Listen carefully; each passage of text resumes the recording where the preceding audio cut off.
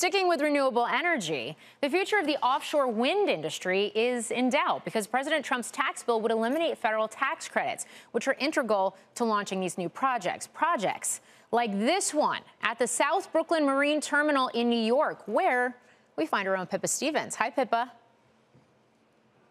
So Equinor is completely redeveloping this terminal behind me in order to support its Empire Wind 1 project that's off the shores of Long Island. Now, it is a really big investment for Equinor, $5 billion net of credits, and those credits are really instrumental. Equinor expects to recoup about 40% of its costs thanks to that investment tax credit, as well as credits in the Inflation Reduction Act. Now, since this project has started construction, they are confident they will get that full 40%.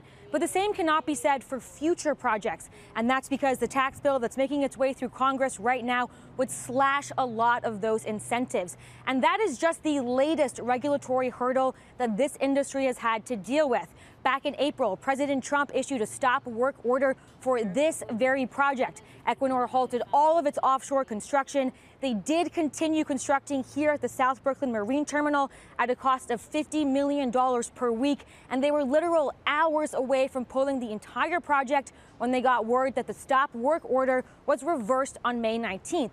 And Morgan, when you think about these projects that take a lot of upfront capital and are very long lead times, Equinor first got involved here in back in 2016. If you have that sort of flip-flopping policy on the regulatory front, it just adds another major challenge that these projects have to contend with.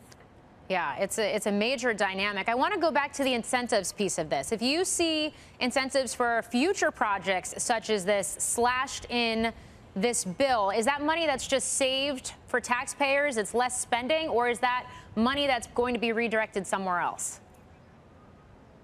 Yeah, so in theory, it's less spending that could be redirected for other things like Medicaid, and that, of course, has been one of the sticking points as this bill makes its way through Congress. But if you look forward, the energy picture is really uncertain. We are seeing load growth, meaningful load growth for the first time in two decades. When you think about electrification, reshoring, add in data centers, we need more power sources. And when you look at places like New York City, there's not a whole lot of available land for things like large solar arrays with backup storage. And so offshore wind is one of really the only viable options.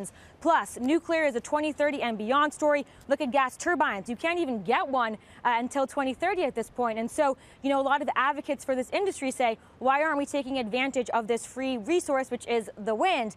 However, in order to get that cost curve to come down, you do need those initial first of their kind projects. And so that's what Equinor is hoping this Empire Wind offshore project will showcase and then pave the way for future projects down the road.